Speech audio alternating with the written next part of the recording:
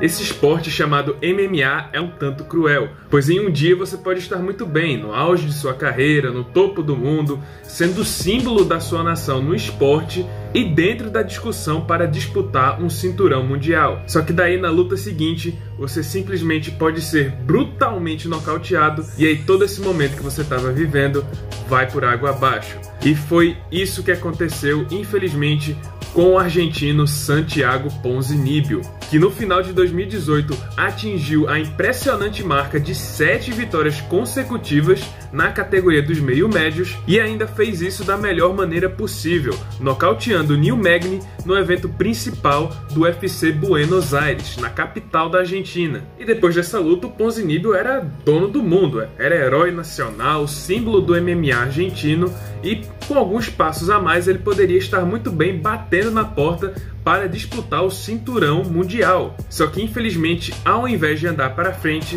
o argentino gente boa, como assim é chamado, deu vários e vários passos para trás. Isso porque ele entrou em uma bizarra sequência de lesões e vários outros contratempos até infecção sanguínea ele contraiu. E como consequência, ele ficou mais de dois anos parado, fora de competição. E por causa dessa inatividade, ele acabou sendo retirado do ranking do UFC. Até que finalmente, agora em 2021, os astros meio que se alinharam e o argentino finalmente pôde pisar no octógono pela primeira vez desde 2018. E ele enfrentaria o chinês Li Jingliang. E uma vitória sobre o chinês seria a oitava consecutiva do Ponzinibbio, fazendo dessa a segunda maior sequência de vitórias ativa da categoria dos meio-médios atualmente, empatado, claro, com o inglês Leon Edwards. Só que em um duro golpe do destino, levou apenas 4 minutos para Li Jingliang encaixar sua potente mão no queixo do argentino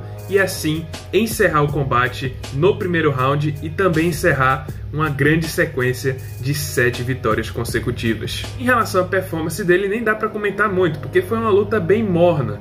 Eles meio que estavam se tocando ali durante 4 minutos, estudando muito. Hora ou outra entrava um jab do Ponzinibbio, um chute baixo, mas nada que desse muito para ver o quanto esse tempo fora do octógono afetou gente boa. Como eu falei agora há pouco, né, o Ponzinibbio estava desranqueado, fora do top 15. Provavelmente, caso ele tivesse vencido o Li Jingliang, que também é desranqueado, ele teria entrado ali no entre o 15 e o décimo, já que a sequência de vitória dele é bem impressionante. Mas como ele foi derrotado, a situação piorou mais do que nunca, pois agora ele vai ter que fazer toda aquela escala de novo para poder entrar no ranking, para quem sabe no futuro voltar a brigar pelo cinturão. Mas e aí, como é que ele pode fazer essa reescalada para o topo da categoria? Bom, primeiro ele vai precisar de uma vitória para poder recomeçar uma boa sequência de vitórias. Mas quem seria esse novo adversário para o Ponzinibbio? Bom, pode muito bem ser um ex-campeão interino que está tentando também se reinventar na categoria e por coincidência também está batendo na porta para entrar dentro do top 15 da divisão. E eu tô falando, claro,